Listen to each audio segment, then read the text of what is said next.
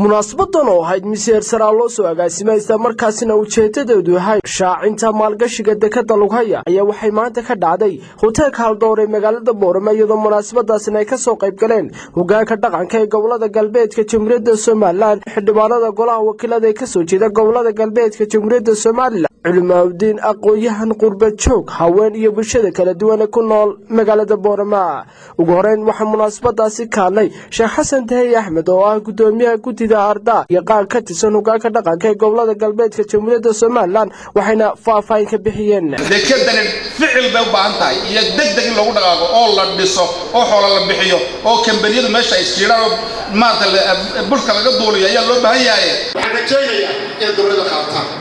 Waxaan u baqayaa dadka maalgashi qaybtay doonaan bahada gobolkay doonaan bahada meeshay doonaan ka soo jeedaan? Ama awdal ha ahaato ama somalilan ha cid kastoo maalgashanaysa way inay furan tahay. Way u furan tahay. Waxa weeye hadda laga bilaabo xafiisku sideedu u shaqaynayaa guddidana qaybaa loo kala jijabinayaayo. Qayb walba meel baa loo diri doona haddii aan la yidhaahdo maanta waxaan nagu yeedhnay wixii aan soo siidnay ee naga sugaysee inaan dadka cadad badan ma lihin. Aad iyo aad iyo aad baan nii bogaadinaynaa.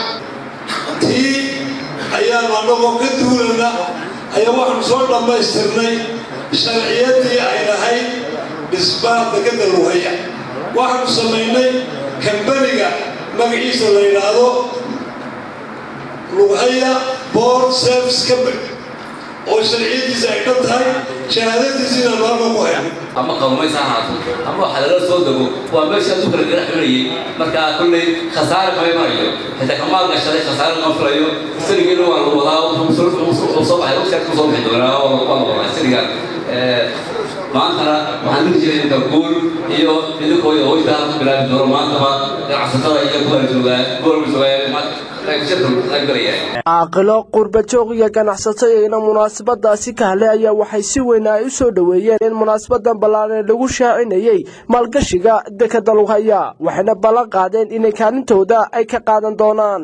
Xildhibaan cali gebile oo ka tirsan xildhibaanada golaha wakiilada somalilan ee ka soo jeeda gobollada galbeedka jamhuuriyadda somalilan oo sagna halkaasi ka hadlay ayaa yidhi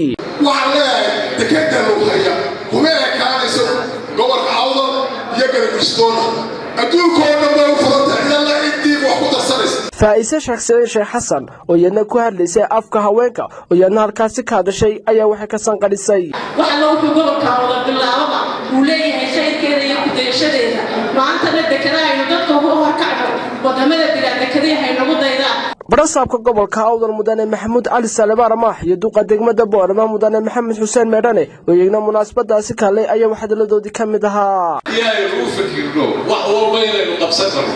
Maantana waa la munaafacadsanayaa. Waxa weeyaan dekadda waan dhisi karnaa. Waan xukuumadduna sidaa ay uga go-an tahay ee ay hore ugu dhagax dhigtay ee ayay qaybteedana ka gelaysaa baan badan soo geliyey mahadnad kaliya ayeen halkaan ugu soo kacay aad bana celinaynaa waa maxamed xasan ismaasheed bere telefishinka caalamiga star magaalada boorama